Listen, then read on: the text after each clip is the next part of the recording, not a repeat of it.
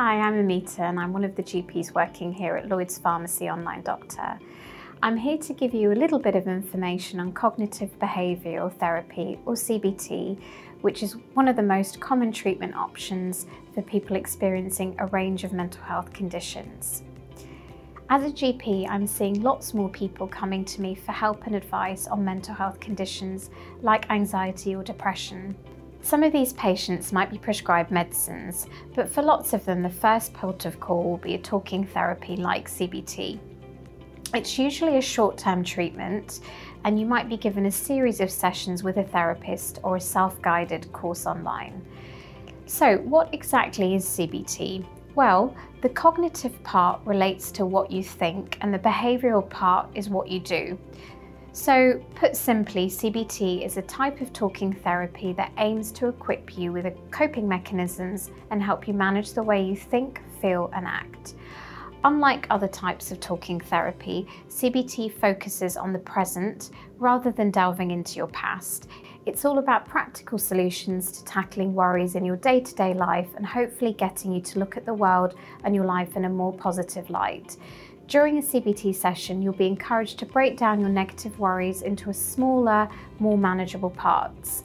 Problems are generally broken down into five main areas situations, thoughts, emotions, physical feelings, and actions. All of these areas interlink. For example, a stressful situation might affect the way you feel mentally and physically, and in turn impact the way you act. So by tackling each area, you can hopefully break the negative spiral, thought and behaviour patterns. You might be given exercises to do outside of the session like writing a diary or filling out worksheets. These will help you get the most out of the course. You might be wondering who CBT is suitable for.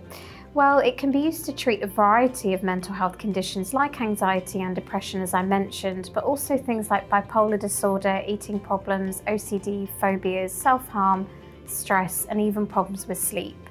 In England, you can refer yourself for talking therapies online, and once you've been through an assessment, you might be referred for CBT. But if you're experiencing negative thoughts or feelings, or think you might have a mental health condition, it's a good idea to speak to your GP and they'll decide the best course of action for you. If they think CBT is what you need, they might be able to refer you to a therapist or they might encourage you to take part in self-guided online CBT.